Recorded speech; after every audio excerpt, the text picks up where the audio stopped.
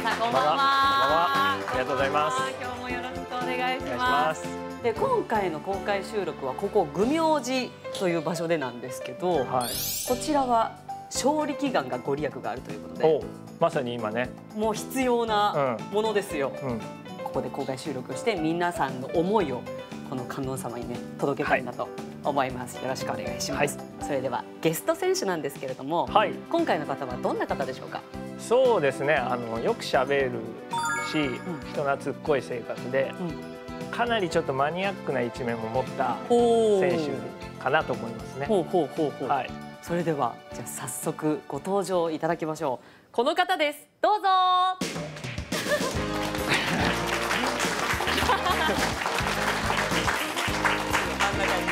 い。今回のゲスト武田英二郎選手です。よろしくお願いします。よろしくお願いします。いやー見てくださいよ。めっちゃイケメン。全然イケメンないですね。声ちっちゃい。緊張してんの？ちょっと緊張した。自慢できる特技があるっていうのを聞いたんですけれども。えー、英語です。くー言ってみたいよね。しびれるえーじゃあちょっと英語で自己紹介、今の心境とかでいいですか。自己紹介。あ今の心境この今じゃあお願いします Um, I'm feeling a bit nervous because um, it's my first time to be in this progr- um, program, but um, I'm very excited and um, yes. Are you excited? Yes, I'm very Oh excited. yeah あウッチーさん訳してくださいまあこの番組にまあ初めて出てすごく嬉しいです。はい。まあ皆さんが僕たちの J1 昇格に期待を寄せていることは あの感じてますと。ただそれに対する答えは一つだと。Yes, we can. えだよね。正解です。すごいらしいことを訳してますけどじいや実際はまあ初めて出るんで緊張してるけどまあ楽しみです。じゃあウッチーさん、はい。あのプレイヤーとしての武田選手なんですけれども、うん。どんなプレイヤーですか？すごくトラップ一つであったりパス一つであったりはすごくレベルの高い選手ででもそこを売りにしてなくてしっかり戦える選手なのであの僕は一緒にプレーしたかったなって思う選手ですね。走ったりしたらボールが出てきそうだなって感じるしやりやすそうだなって思います。まあ僕左サイドバック今やってて右が健吾で。やっぱ健吾とかすごい分かりやすく足速いし、うん。すごい目立つからいいなと思って。てまあ俺とかすごい結構地味な選手だと自分でも思ってるんで、まあ、今ウッチーさんにこう言ってもらったことがすごい嬉しいですし、うん。まあそういうのをもっとみんなに伝わるようにもっとボールに絡んでやっていけたらいいなと思いますけど。はい。はい。いやもうなんかまだ序盤なんですけどすごいいい意気込みが聞けました今回のハマる横浜 FC は武田英二郎選手をゲストに迎え南区にある愚明寺で必勝祈願公開収録。クールなイメージがある武田選手を丸裸にしちゃいます。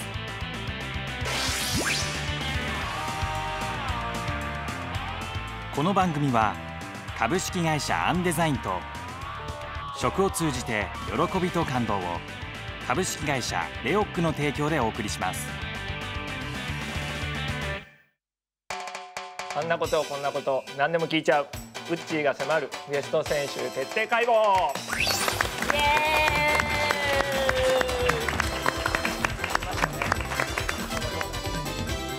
それでは武田選手のプライベートに迫っていきます実は私まるなんです。はい。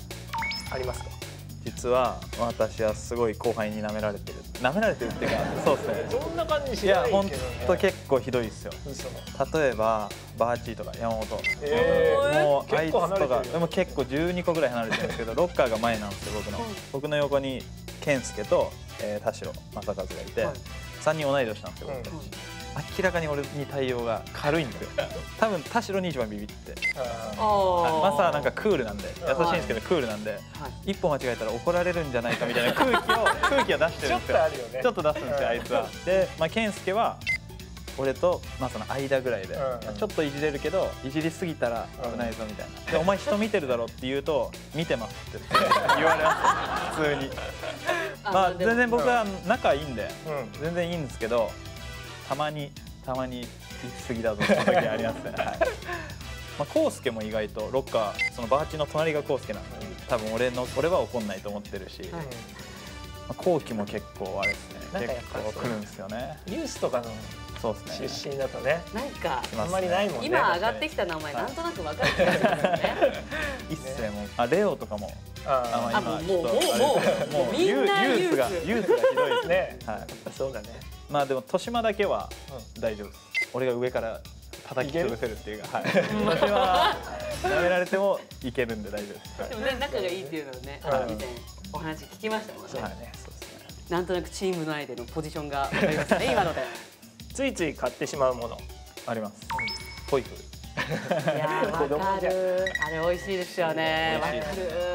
美味しいし量が多いっていうかなんか結構食べたと思ってもまだ半分ぐらい残ってたりするんで。あの長い距離運転する時とかコンビニ行ったらなんか買っちゃったりする時多い。ですねはい。なんか可愛いですね。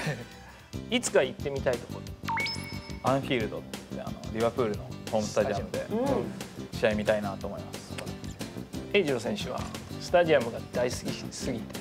すごいんですよイギリスに昔住んでたっていうのがあって、うん。で昔からそのリバプールを、まあ、なんでかわかんないけど応援しててかっこいいなってずっと思ってて最近結構工事してスタンドちょっと大きくして でさらになんかかっこよくなったんで、まあ、そこで試合とか見たいなと思います、はい、子供の目。そうですねちょっとき厳しい目が 厳しい目ポカーンとしてたけど。はい。そんなスタジアムマニアから見てはい、はい三沢ってどうなの？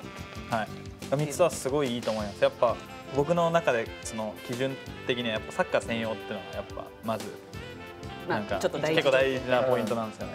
あの選手としてもやる気出ますし多分見てる人もそっちの方が面白いと思いますし、同じお客さんの人数でも全然雰囲気とかも変わってくると思うんで三つはすごいいいスタジアムだし。欲を言えば。欲を言えば全部屋根つけたい。まあそれはもうみんな思ってつけたいし。う真っ暗にしてでライトとかでこうなんですかね演出とかそういうのできたら試合前とか入場する時とかにそういうのがあったら見る側もテンション上がる。はいやっぱかっこいいと思うし、はい。やる側もテンション上がると思うし、ん。うっちーさん。うん。うんどうですか？いけますか？え俺が？なんとかできどこと交渉したらいい？お願いしします。うん。はい。分かった。あもう。お願いします、はい。50年待って仲のいいチームメイトそうですね。まあ基本的にみんな本当仲いいんですけど。仲いいよね。仲いいですね。田代正和とは、うもう中学からチームメイトなんでずっと、うん。中高一緒でで今家族同士でも子供たちが同い年ぐらいだし、あのオフとかはき、まあ、結構一緒にいること多いんで、うん。まあマサが一番いる時間が長いかな。いやでもお二人で並んでたらちょっとかっこよすぎて目立つだろうな。確か確かにマサはかっこいいですよ、まあ、身長も高いし俺身長もあんま高くないですしやっぱマサとかいいなと思って。に本当だねそうごめんなさい。調子忘れてました。忘れてました。すいません忘れてました。えーじゃあ私から一個だけいいですか、はプロポーズはどういった形で？あの言葉は言わなくていいので、はい。なんかしこシチュエーション。福岡の人だったんで遠かったんですよ。あの遠距離とあそう遠距離だったんで。わあもうロマンチック。なんか江ノ島の、まあ、海のとこで指輪を渡したって感じですけどそんなあれですよ。そんなすごくないですよ多分。人とかいたら嫌だったんで結構夜にやったんで。暗くてあんま見えなかったっていうのは結構後悔。ちょっとそそこはイメージ通りにいかなかったっていう。ちょっと暗かったけどもう帰っちゃうんで早く言わないといけなかった。その福岡帰っちゃうから。はい。行ってみて暗すぎてちょっとあちょっとやっちゃったなっていうのは思ったのは覚えてますえあれですか？奥さんもな泣かれたりとかしました？ちょっと泣いてくれましたけど。わあい。いなあ声でか。声大きかったですか？今日一だね。あのちなみに言うとこの愚名字観音っていうのが縁結びもうん。あるらしいんですよ。あっちも。さっきもでやってきたので縁結びもあるということです。まだ独身の方ぜひ。はい。続いては武田栄二郎クイズサポーターの皆さんは武田選手のことをどこまで知っているんでしょうか？無人島に持っていくとしたら何？三つ挙げてくださいました。一つ目は槍。槍？二つ目がマッチ。や三つ目は何でしょうか？前の2つとはほぼ関係ないですねいや、えでもそうですあか。関係あるかえーフライパン？ね。確かにフライパンないと厳しい。え正解なの？いやじゃいや正解ではないんですけど、はい。フライパンないとこれ自体が厳しいのか何かがななないいと厳しいきないものだよね。まあ確かに。はい。ポイズ素晴らしい。可愛いなんかよボーナスあげたい。醤油？あ 日本人だな。違うな。ちょっと近づいて近づいてるね。はいはい。はい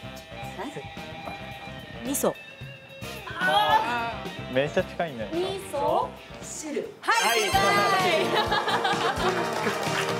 正解です。あの僕湘南にいた時に湘南の話になっちゃうんですけど、あのキャンプがトルコで3週間ぐらいだったんですよ、そしたらあのチームとしてこんぐらいのインスタント味噌汁みたいのをめちゃくちゃ持ってきてくれててそれが美味しすぎてトルコなんで、ないんで味噌汁が、うん。でコーヒー飲むタイミングでみんな味噌汁飲んでるんですよ。あのマグカップに入れてやっぱ美味しいから、うん。でなんかその時にいいなと思って。だから歩夢とかが今回ブラジル行ってたじゃないですか、大量にこんないっぱいそのインスタント味噌汁入ってるのあげて、あいつもあっちでまあまあやっぱ役に立ったと言って ました でもなんか本当に無人島行くなら100個入りみたいなやつを10個ぐらい買って持っていくかなって感じです2問目はこの世で一番苦手なもの。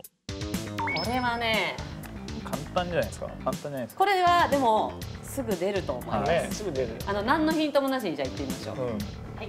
えーゴキブリ？素晴らしい。これ得意な人います？そういますないよね。はい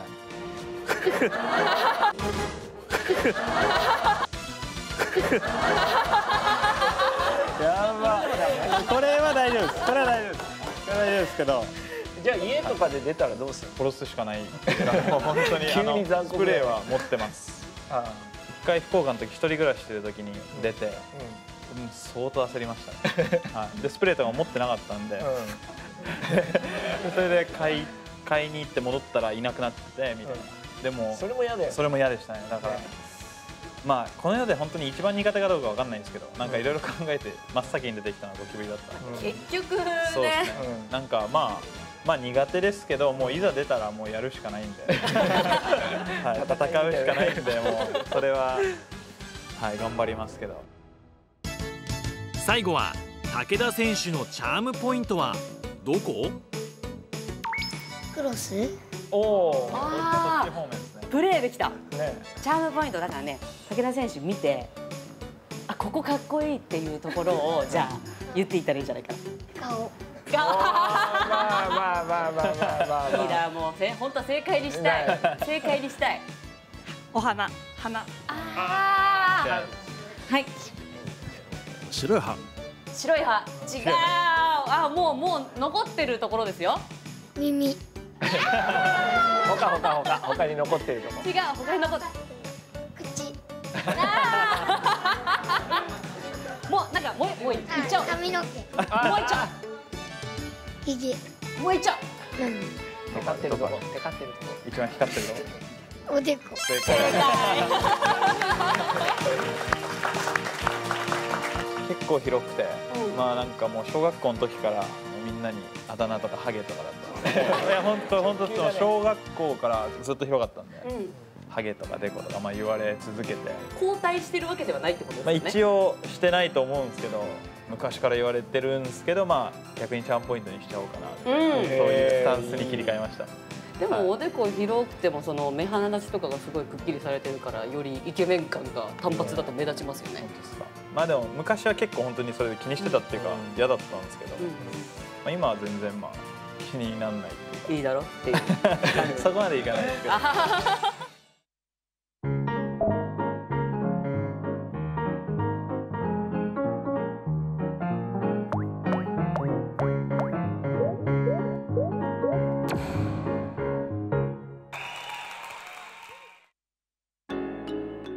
今回は南区にある愚明寺での必勝祈願公開収録ここ愚明寺は横浜で最も古い由緒ある寺院なんです。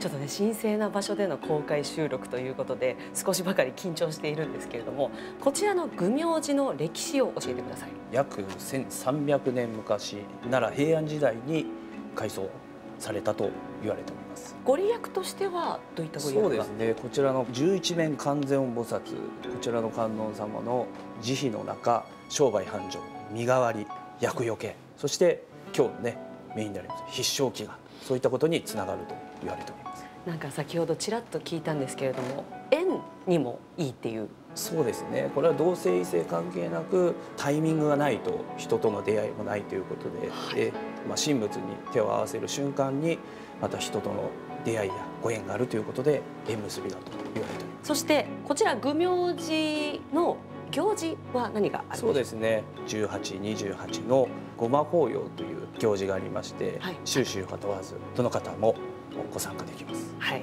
ということで横浜 FC の勝利祈願に皆さんぜひ足を運んでみてください。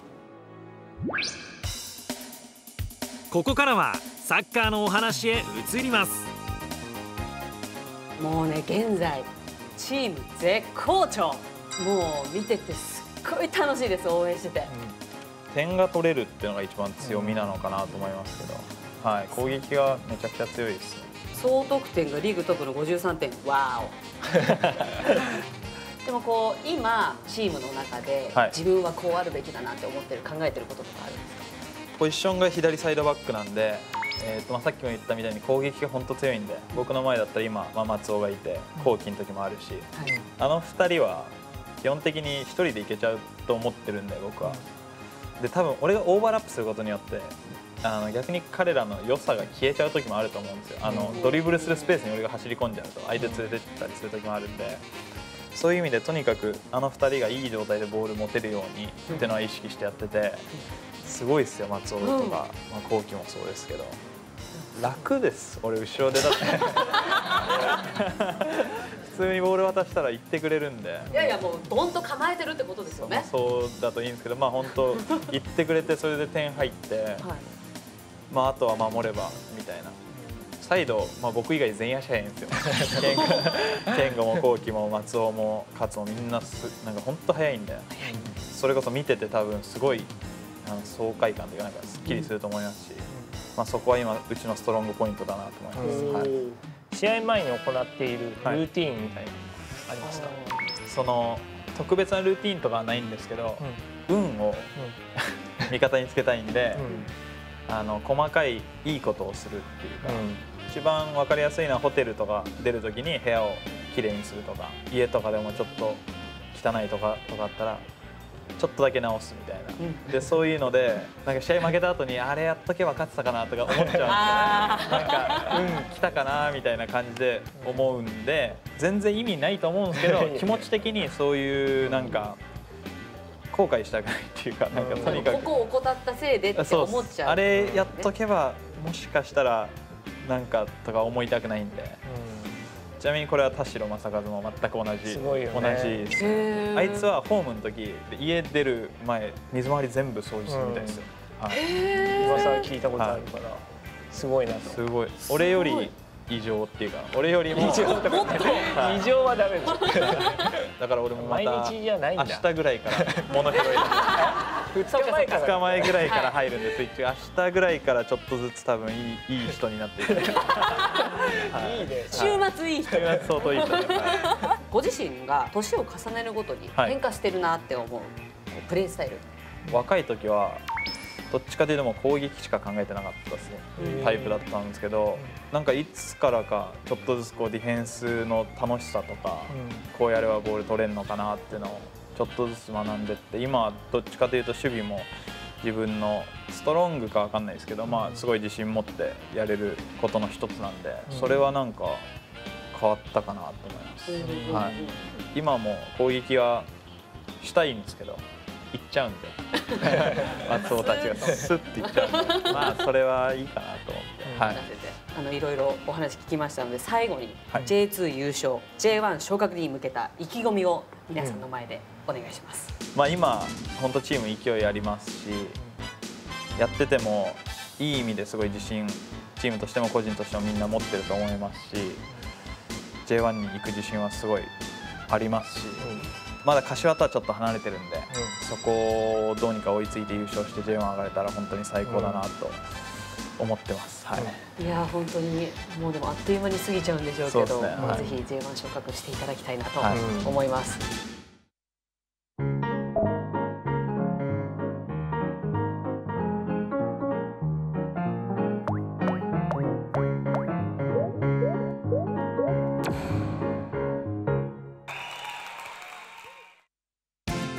最後はサポーターの皆さんから武田選手への質問タイム好きな色は何ですか？好きな色青ですかね。おはい。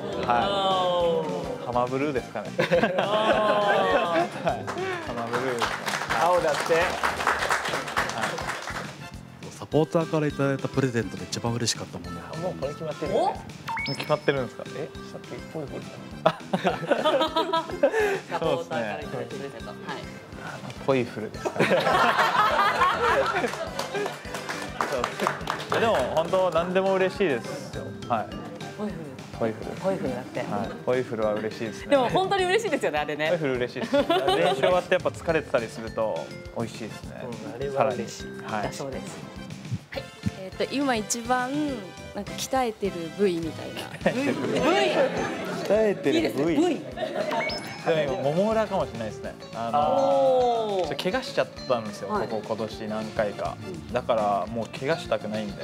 器具使ってるそうです器具使って。チューブってわかります？あのゴムの歌手の。そうですね。あれにあれをどっかに。えかああごめんなさい。歌手じゃない。あごめん歌手のチューブじゃない。ですすっごい流されたから。ちょっとほーみたいって。そう違うやんと思って。すいませんう。んそういうのどっか引っ掛けてこうこういう感じでやってると、うんかかとに引っ掛けると。あでもすごい。シュッとされてるなと思うんですけど意外とこうよく見ると筋肉がしっかりとついてるんですよね。後で皆さん立ち上がって見てみてください。ちらっと。武田選手今回のこうハマる横浜 FC、はい。初めてということでしたけれども、い、かがだったでしょうか？楽しかったですけど緊張しましたね。え？はい。ちょっとフォローが足りなかったかな。俺らもね。ごめんね。あ大丈夫です。ごめんなさいちょっとだけ怖いのかなって私勝手に思ってたんですよ。これ相当優しいと思いますよ。優しいっていうかえでもなんかそうそうですね言い方あれですけど、あんま怒れないんですよ逆に。子供とか怒れないですね、今。は優しいパパなんですね。いそうですねもう全然怒れないですね、はい。でも今日は本当に人柄が見えたような気がしますよね、本当に今日は。ありがとうございました。ありがとうございましたこの番組は株式会社アンデザインと食を通じて喜びと感動を株式会社レオックの提供でお送りしました。